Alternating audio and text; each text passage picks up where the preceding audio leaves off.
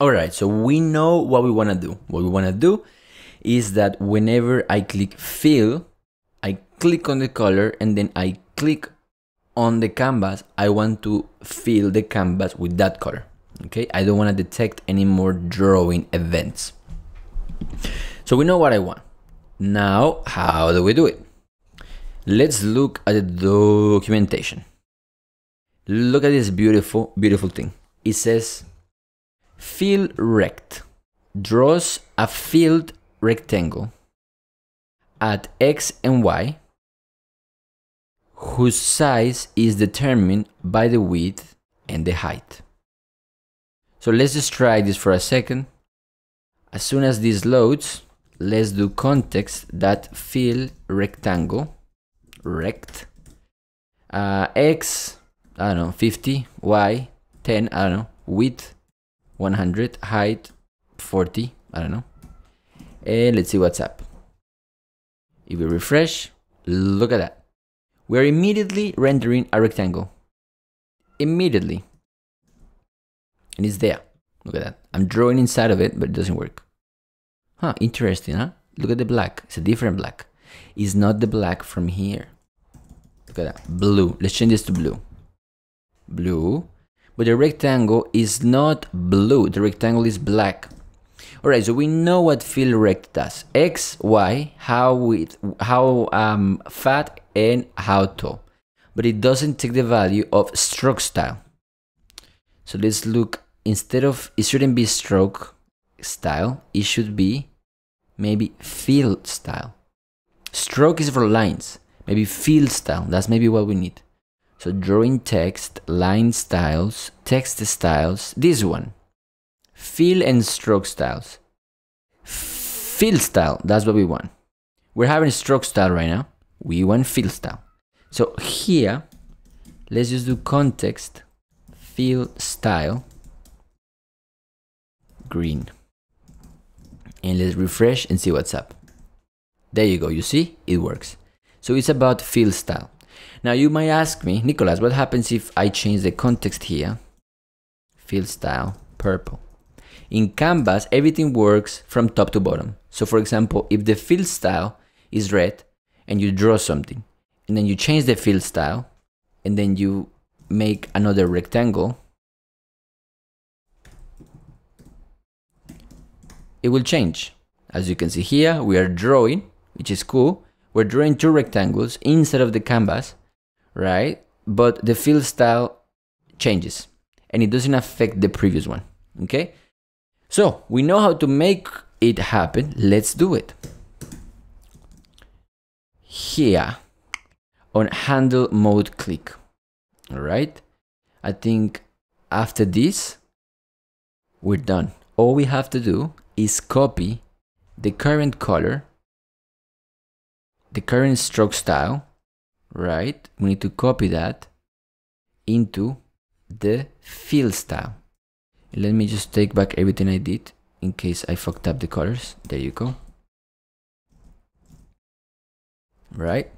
So now what I want to do is that here, if filling is true, all I want to do is do context fill style is the same as context stroke style.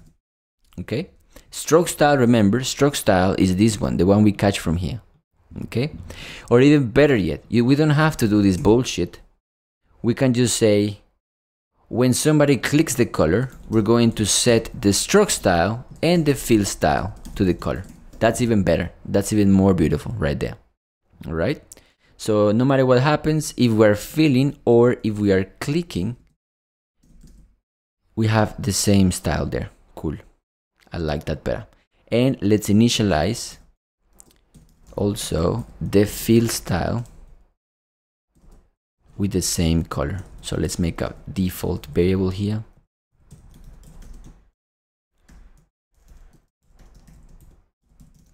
You could ask me, Nicolas, when do you start putting stuff in variables like this? I actually do it when I have to repeat it. If I see that I have to use this here as well, that means it probably should be here. All right, that's just a rule of thumb. And there we go. So now we have stroke style and fill style, they're the same. And now all we have to do is we need to add a one more event listener about clicking, clicking the canvas, all right? And this reminds me, we should have a different, maybe we should have a different pointer. Maybe the arrow is not a good pointer, I don't know, whatever. So now we're gonna do canvas dot add event listener, click, handle, canvas, click. All right, let's make this function happen. Function, handle canvas click, we don't care about the event. And all I wanna do is then create a rectangle. So how do we do it? Context, forgot. Fill rect. Fill rect. Well, rect. Uh, we start from the corner of 0 to 0 and how big? It should be as big as the canvas and the canvas is 700.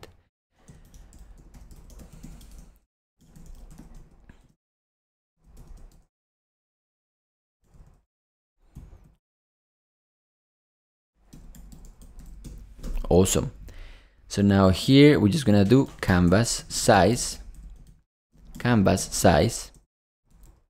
Or also we can use the context. No, we can use the canvas to give us the size.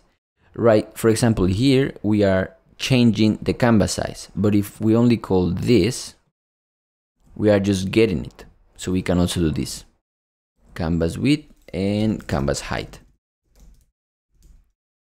that's whatever whatever you want. I think both will work.